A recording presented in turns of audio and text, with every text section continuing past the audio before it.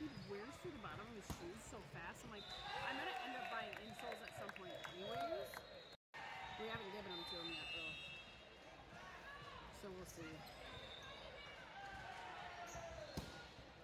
We'll let you know if all of a sudden he's going through to the roof jumping.